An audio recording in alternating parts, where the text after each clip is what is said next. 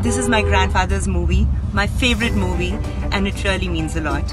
Come celebrate 60 years of Maya Bazaar at the Apollo Foundation Theatre. I truly believe that art can help healing. I'm really excited about it.